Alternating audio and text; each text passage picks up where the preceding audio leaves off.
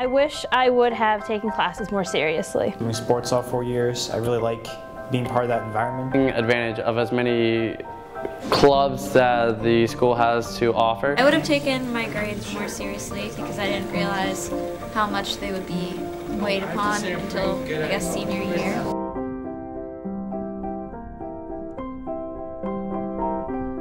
My advice for new students would be to be open-minded to trying a lot of things, but make time for yourself. Don't play iPad games. Don't don't uh, just waste your time on useless things. Just try whatever you want to. To get involved and do a lot of your more busy scheduled classes at the beginning, your first couple years, because when you get to be a junior and senior, you have like so many things going on with the SATs and applying to college and getting into college. So study for your test, don't procrastinate. I know we all want to, but don't. Um, just be ready, stay on top of your grades, and get involved.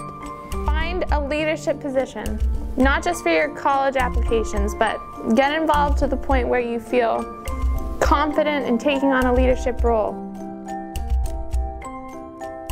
I think my favorite thing about FA is the sense of pride and community we have with our student body.